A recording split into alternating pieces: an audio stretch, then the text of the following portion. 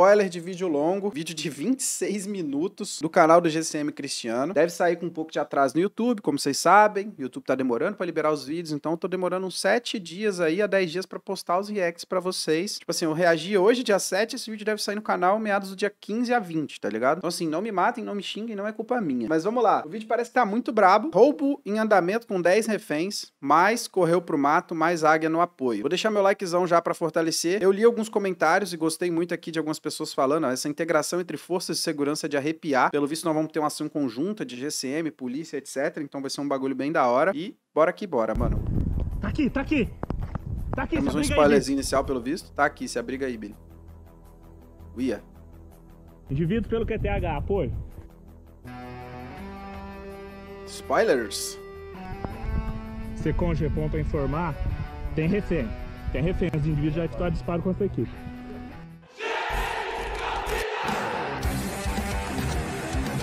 Dez reféns, mano. pra caralho.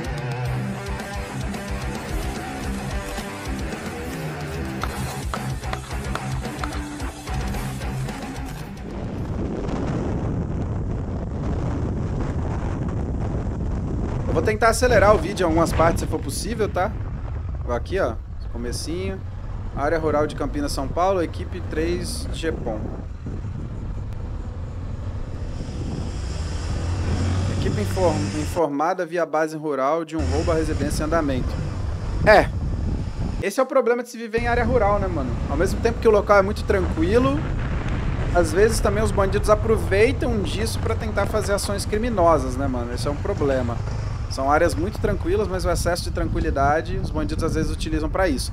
Inclusive o vídeo, um vídeo do meu canal aqui, o pessoal me pergunta qual foi a ocorrência mais perigosa que eu já participei. Eu sempre cito para vocês essa ocorrência aqui, que foi um assalto também à fazenda. Foi um dos primeiros vídeos do meu canal. Eu não consegui aproveitar muita coisa do vídeo porque na época eu só tinha uma bateria, né? E eu era tipo tava no comecinho, tá ligado? Vou até tirar aqui porque ele tá com música, então tem direito autoral aqui esse vídeo. Eu não consegui aproveitar muita coisa do vídeo, tá ligado? Mas se fosse hoje eu teria feito um vídeo muito melhor acerca disso daqui, ó. Os caras pegaram, assaltaram uma fazenda, tá ligado?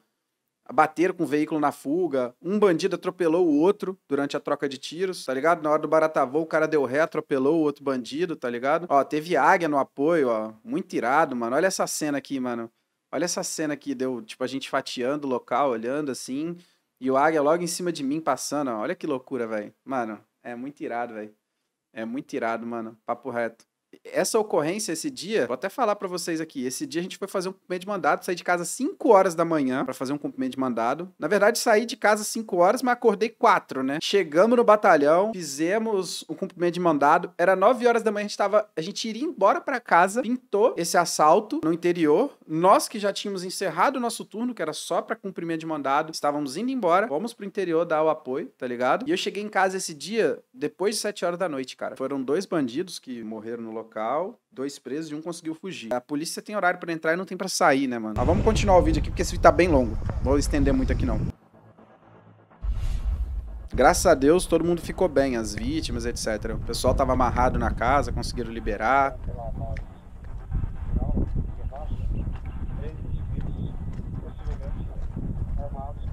Três indivíduos armados efetuando roubo à residência. Tá vendo? No nosso caso lá, eles tinham rendido pessoal da casa, roubaram o carro e vários pertences. Hum.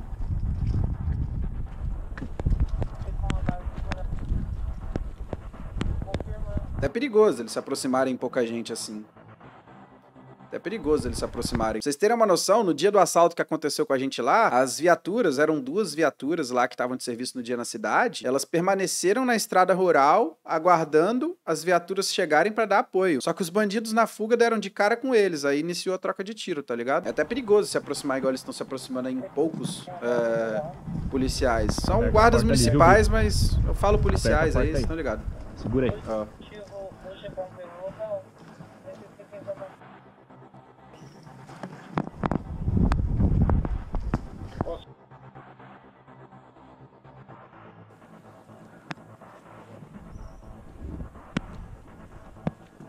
Perigoso pra caralho essa aproximação aí.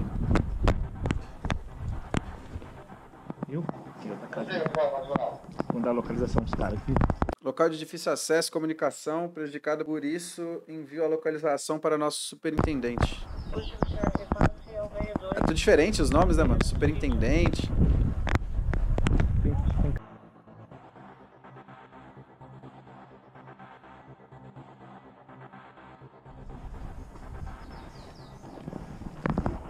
Que agonia. Muito lugar, né, mano? Pode ter bandido em qualquer lugar aí, velho. Ó. Ao nos dirigir para a varredura na segunda casa, somos recebidos a tiros.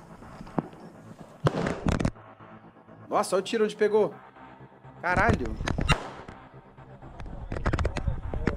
Tá aqui, Billy, tá aqui, ó. Vídeos Tá aqui, tá mais aqui. disparos dentro da residência. Tá aqui, se abriga aí, Billy. Abriga lá, fecha lá, fecha aquele lado lá, ó. Lá, lá. E a janela aí? Onde é que os caras estão? Estamos cerco para tentar negociar Secom, com Gepom.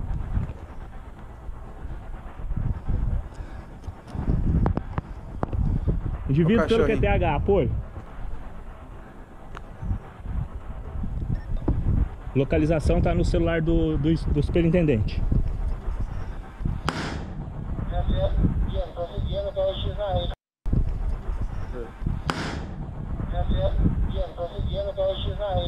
Mais disparos contra a equipe, que não pôde revidar, pois eles usavam as vítimas como escudo nesse momento. Caralho. Isso aí, reduz silhueta, pega a cobertura, o abrigo. Fecha aí, não deixa sair aí não. Se entrega, Joe!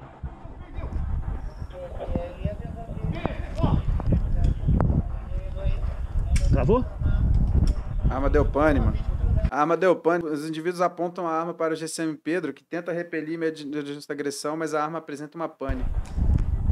Foi safo. QRX na rede. Foi safo, só tem um problema. Nesse tipo de situação, a gente aprende dentro da doutrina que o correto para você fazer essa, esse manuseio da arma seria ele continuar abrigado ali, tá ligado? Mas, na hora do baratavô, meu irmão. Obrigado. Ele é obrigado a ceder a posição para sanar a pane em um local mais seguro. Tá ali? assim. Tá ali? E a mesma tem ciência do local.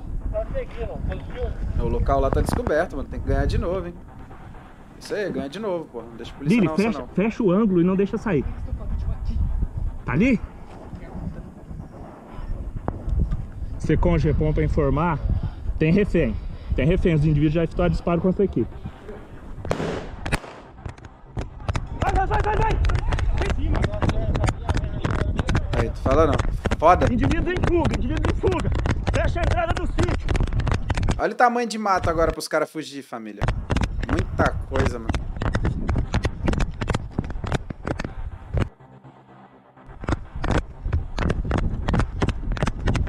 Na hora do baratavô, filho. Pipoca acendendo pro seu lado. Tá maluco. Perdi os parceiros visual. É foda, hein? Aí é foda. Ô, Billy!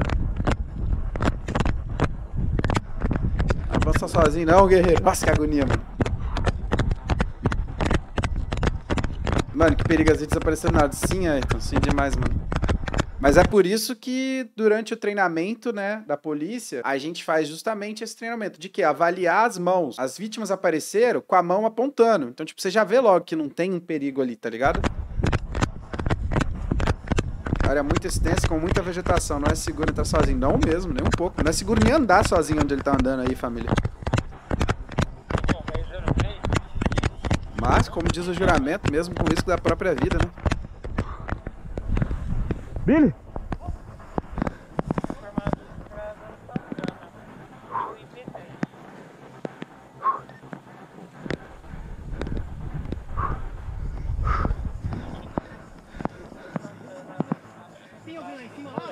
O O Josiel GTM chegou a efetuar um disparo. Ele efetua pro lado. Os caras apontaram pro lado. Ele chegou, efe- ele efetuou pro lado, tá ligado?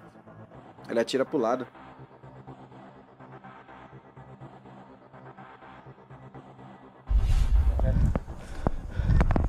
Recordar que eu giro na rede, vindo direito aí. Eu tenho que saber o que PH, nós já abaixo. Não giro na rede. Ele precisa do águia, Billy.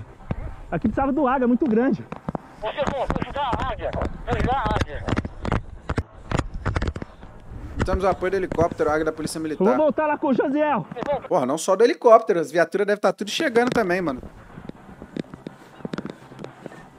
Você fala, superintendente, tenta acionar o Águia. Acionar o Águia pelo local.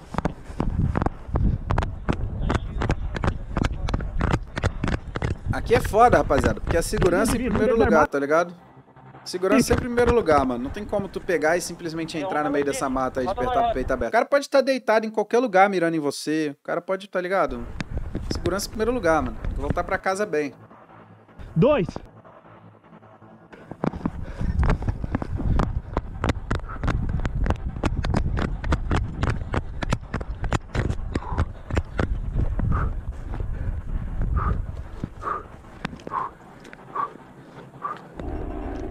É pés de árvore branco aí, mano? Que eu tô vendo esse bagulho aqui, tô. tô aqui. Já se aproximando do local. Ele passou. Vamos, águia que ele passou. A águia passou pelo local e às vezes nem percebeu.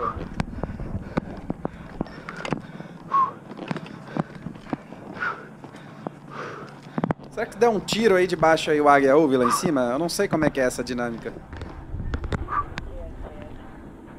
Esse é um problema sério de se tentar fazer uma ação em conjunto entre polícia militar e guarda municipal. Porque você percebe. A, guarda municipal, eles têm um rádio, a polícia tem outra. Provavelmente a central deles tem um rádio que conecta com a polícia. Igual é aqui, por exemplo, o meu rádio da polícia militar é diferente do rádio do bombeiro. Mas na central, lá no Copom, tem um rádio que comunica com o bombeiro. Então eu falo, solicito o bombeiro aí. Aí o Copom já pega e passa o rádio pro bombeiro, tá ligado? Na verdade, minto, aqui em Colatina é até além. O bombeiro usa o nosso rádio. Agora tá assim, eles estão usando o nosso rádio. Mas, tipo, tá ligado? Então você acaba dificultando a comunicação, mano. Ô Billy, você tá onde? Ó, eles prenderam as vítimas num galpão que tá à esquerda da onde vocês estão aí. Talvez o moleque possa ter corrido pra lá. Esse helicóptero é de vocês? Não, é dos bandidos, pô. Beleza, Billy? Cabo deve sair no Abaeté e Pinoça lá. Tem dois aí dentro. Então, mano, muito perigoso, cara. Muito perigoso o que eles fizeram aí. Corajoso, mas perigoso, tá ligado? Correu um pra cá. Foi dois que foi atrás.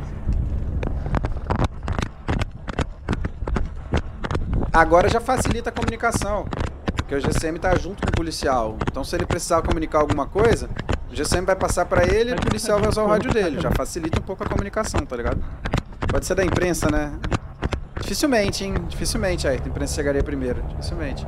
Ainda mais no local ermo, assim.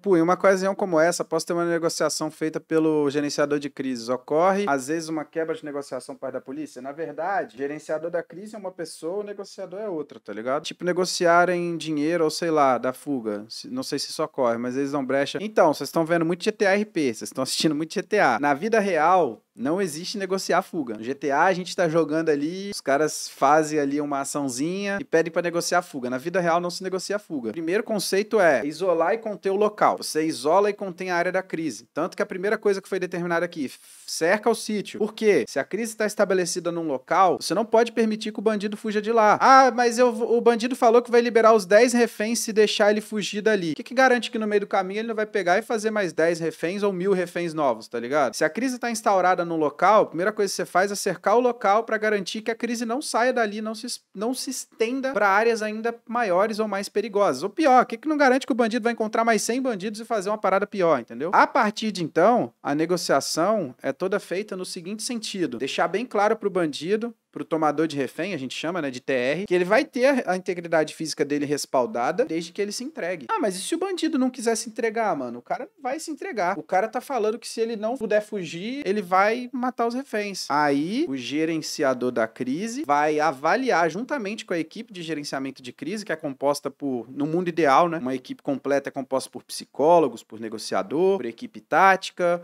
por o sniper, né, e tudo mais. Ele vai avaliar todas as situações que estão acontecendo e vai falar assim: a negociação está evoluindo, o TR está cedendo, com é, traços psicológicos na fala e nos gestos dele de que ele vai se entregar e vai ficar tudo bem. Continua a negociação. O cara tá, tá com traços aí de que ele vai fazer alguma merda a qualquer momento. A equipe vai avaliar e vai falar: é hora do, da equipe tática entrar, é hora do atirador atuar. Foi como os casos que a gente viu aquele do Rio de Janeiro, o cara que amarrou gasolina lá no, no, no ônibus e tudo mais. Eles perceberam que o cara não falava coisas com coisa, ele não tava num estado mental próprio, ele estava fora de si e tudo mais. E a melhor opção foi utilizar o sniper, entendeu? Então, tipo assim, é avaliado tudo isso daí para se chegar a uma conclusão se a negociação está avançando ou se deve ser utilizada as outras estratégias. A negociação, ela é uma das opções do gerenciamento da crise.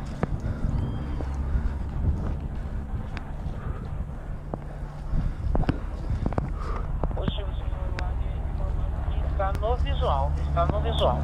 O Águia tá no Equipe do da... SECOM em contato direto com a equipe do Águia, nos orientam em campo.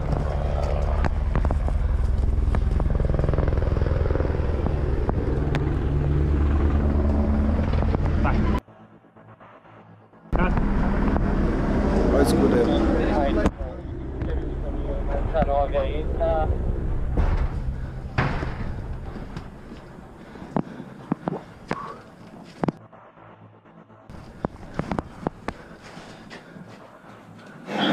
Tá, tá no vendo aqui. Achou o rádio, porra. Ô Pedro, eu tô atrás. É, confirma aí. É, essa estrada abaixo?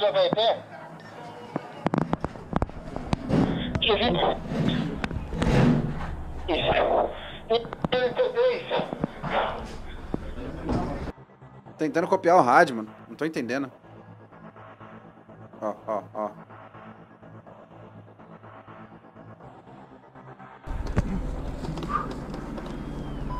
Ah, Você acho olha que pro esse- Japão, tá no KP? esses bagulho branco aí deve ser tipo Caraca. agrotóxico, essas paradas assim, né, mano? Nos pés de árvore aí. Quando pro Cristiano, pro José. Eles estão entrando na fazenda. Ok, José Cristiano. Você tá tem condições de modular aí? Informa pra gente o acesso. O canil e o lugar extra aqui pro Taeté. Chefe, não tem condições de informar o acesso aí. Porém, o morador informou que sai lá. Sai na Baeté. Tô descendo com a célula da PM. Deixe nos comentários. Você é a favor dessa integração das forças de segurança? É claro. Que outro mano. aliar com o Japão? É claro, mano, é o que eu falo. A gente é Estado, a gente tá aqui pra se unir e fazer um bom serviço pro cidadão. Briga, tretinha tem que ser entre bandido. Entre facção criminosa, não entre Estado. nossa tá Ô, Japão, vou descer sentido a Baeté a pé. Sentido a- os bananais. Diego aí. Pedroso, obrigado por se tornar apoiador, irmão. Tamo junto, tá? Valeuzão aí. Luiz Henrique, obrigado pelas A estrelas. equipe nossa tá à direita aí, viu, Bi? Tem dois nossos aqui. O Águia tá sobrevoando. Só pra nós É neve. eu tô fazendo Grande aí, policial tá formado pelas O Águia tá equipes da GM e da PM. O Águia tá sobrevoando muito à esquerda do que onde a gente pegou o visual.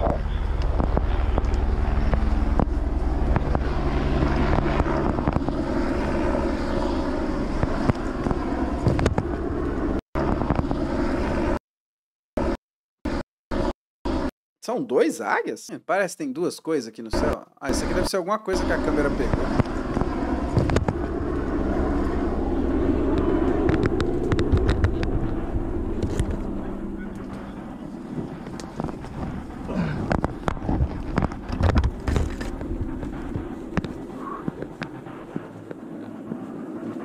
Mano, o cara pode estar intocado em qualquer lugar aí. Equipe nossa, velho. equipe nossa. Perigoso pra caralho. Foda, mano. Tu pode ter passado pelo lado do cara, o cara tá deitado no mato e você não viu, tá ligado? Lá de lá?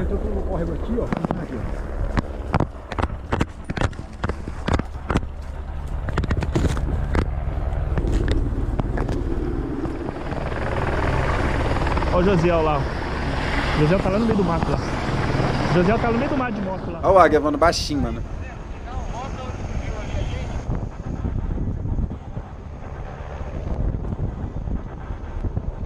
José utiliza a motocicleta para cobrir uma área maior.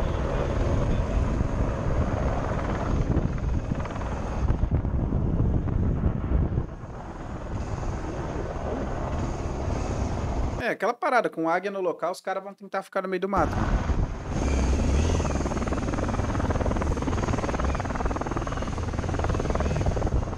Caralho, ele passando com essa moto no meio do pasto aí, daqui a pouco vem um buraquinho aí, ó.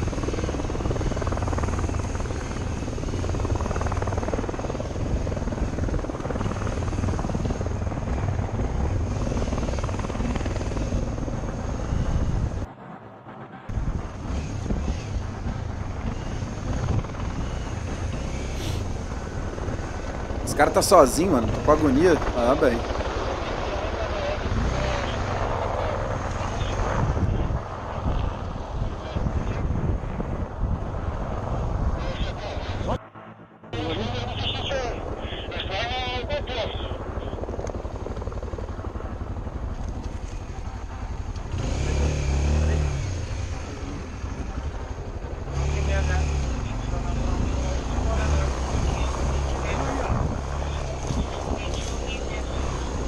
Braba do caralho passar de moto num lugar desse. P2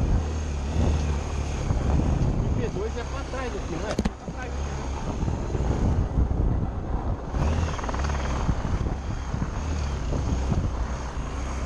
Cinco estrelas já. É, faltou só os blindados, né? Vou acelerar um pouco o vídeo.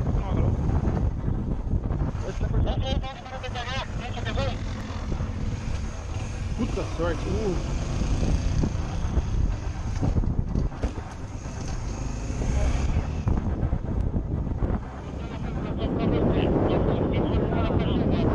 entender sobre essa questão de negociação e refém na vida real é o seguinte, pessoal aí que fez uma pergunta igual a do Luiz Henrique aí, tem que lembrar que em joguinho online ali no GTA RP que vocês estão acostumados, o cara pega e faz um bagulho errado, ele fica 10 minutinhos 30 minutinhos a mais preso. O cara, o bandido, quando ele tá numa situação como essa, que ele tá com um refém, mas o cara sabe, velho. A partir do momento que ele machucar ou fizer mal pra um refém, dificilmente ele vai sair vivo dali. E caso ele venha sair vivo, a pena dele, cara, tu responder uma, um 157, que é um roubo, que tem uma pena X, um roubo seguido de morte ou uma extorsão mediante sequestro e tudo mais, a maior pena do Código Penal, cara. São 30 anos de prisão, velho. Hoje até subiu pra 40, né? A pena máxima agora é 40, sei lá, né? É fudido isso daí. O cara não quer passar o resto da vida na cadeia, não, tá ligado? Então isso pesa muito na hora da negociação. Você virar pro cara e falar assim: meu jovem, se você se entregar até o momento, você tá respondendo só um crime de roubo mediante sequestro. Se você fizer mal pra algum refém, pra alguma pessoa que tá aí, vai responder pela morte dessas pessoas, tá ligado? Então, assim, isso pesa. E o problema, às vezes, do bandido é que você tem que avaliar o estado psicológico do cara também. Às vezes o cara tá no estado psicológico de adrenalina tão grande que ele acha que ele vai ser morto. Então você tem que conseguir fazer o quê, o negociador? Tem que conseguir trazer o cara pra si e falar assim, meu jovem, se você se entregar, você vai sair daqui vivo,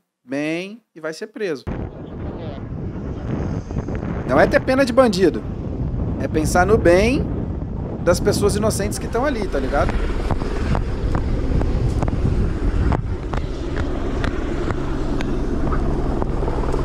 Joguinho online tu morre e renasce, né? Na vida real. É game over.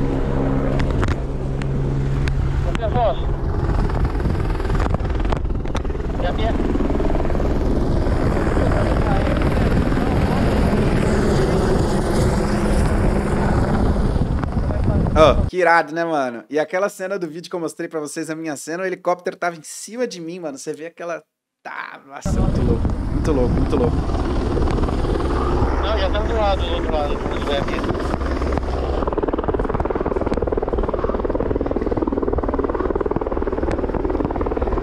Segura um pouco aí, Bi.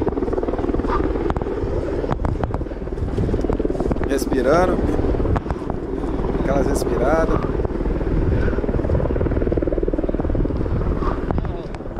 Informação do Afonso, o indivíduo se encontra no sítio Ó, passaram uma informação aí, ó.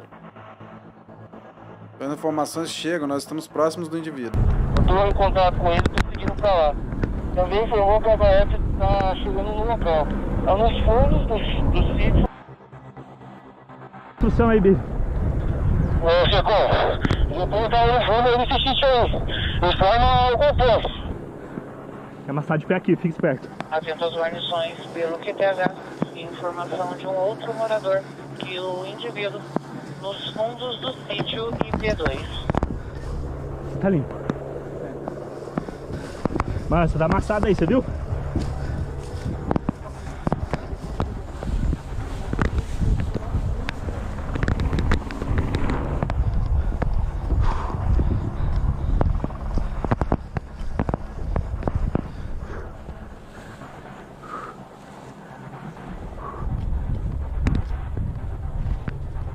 Eu tô balançando as pernas, tô nervoso aqui também, mano.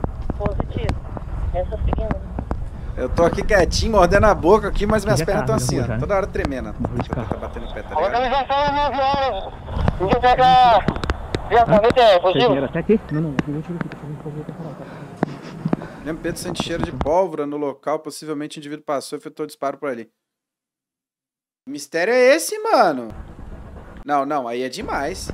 Aí é demais, mano. Com todo respeito aí, ô GCM. Que mistério é esse, velho? Dispensa os K9 aí. Porra, tá maluco? Que porra é essa? esquerda, beleza? Caralho. Não, achei que o cara ia falar que viu marca de pegada, porque o chão tá meio úmido, então realmente dá pra ver marca de pegada de boaça. Inclusive no dia que a gente achou os caras lá, nós seguimos muita trilha de pegada. Agora, porra, mano. Árvore. pólvora? Eu mandei a localização pra você. Tô aqui em Aí é demais pro meu coração, Não celular. grava.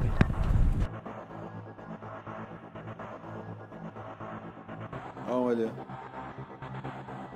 Cara, parece que tá pelado, mano. Tá na rua, no fundo do sítio, correndo! Na via, na via!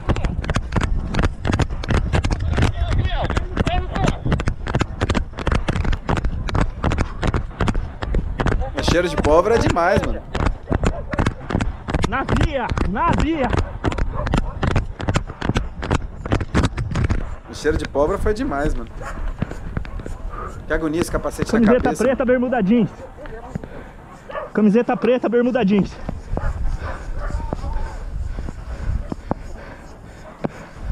Dá linha pra ele. Tá na mão. Tem um na mão já.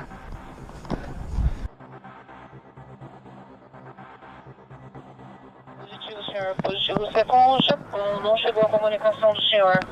Confirma. Guarnição do Japão. Qual que é a via aqui? Ferido. Confirma. Escolha. Guarnição do Japão. Chegou a comunicação do senhor. Confirma. Guarnição do Japão. Qual que é a via aqui? Ferido. Confirma. Escolha. A missão do Sem CP foi Sem novidade. Sem novidades com a equipe. Tá, eu seguro.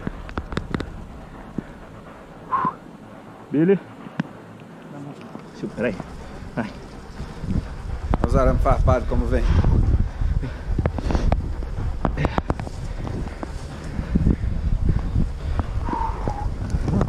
Japão, veio o Japão, por gentileza. Faz que tá gravado, favor. Chegou mesmo? Informa para as viaturas. Seguindo por... Possivelmente, eles foram pra lá. É próximo, chácara e a saída já não é. Tá na mão.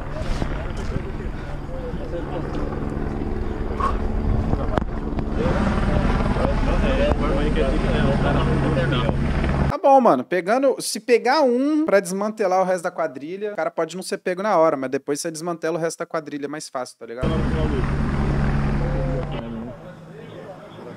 Parabéns. Japão aqui? Japão é foda. Não, não, não, mas o mistério da pólvora foi demais, mano.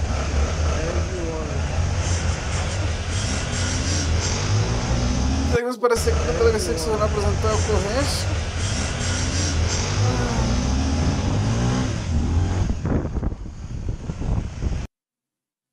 Não, não, o da pólvora foi demais pra mim, foi demais pro meu coração.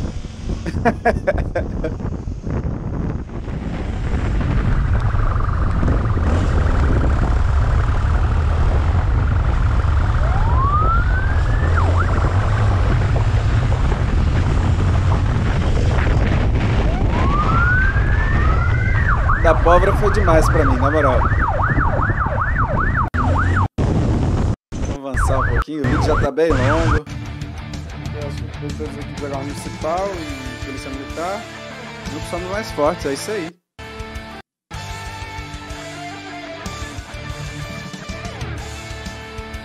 Falou da pobre e o cara realmente estava perto. O homem bom demais. Porra, se o cara tivesse atirado, a gente teria ouvido, né? Não faz sentido.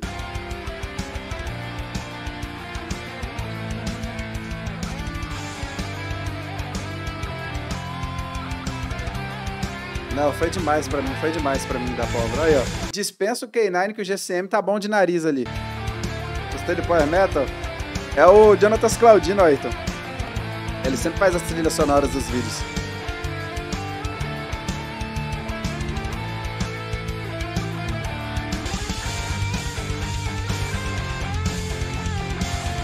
Fibra de herói é o melhor, mano.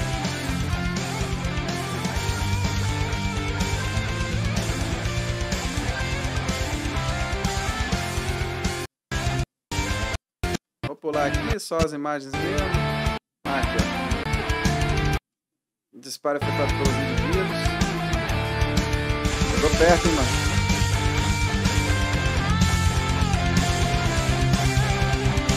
Nossa, que chassi de grilo. Dois indivíduos presos, dez reféns libertados, um veículo apreendido, todos os bens restituídos aos proprietários.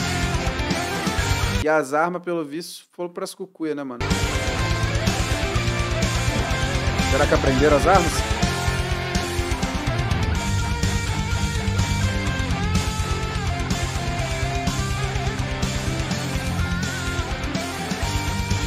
Ei, rapaziada, vou falar pra vocês, vídeozão bom, mano. Não vou nem falar muito porque já tá longo pra caramba, deu 40 minutos de react. Espero que vocês tenham gostado. Falou muito de gerenciamento de crise, principalmente nesse vídeo. Fiquem com Deus aí, um abraço. Até o próximo videozão. Deixa o teu like pra fortalecer aí e acompanha as lives também no Facebook, beleza? Tamo junto, é nóis. A live não acabou, mas até o próximo vídeo, rapaziada. Fui.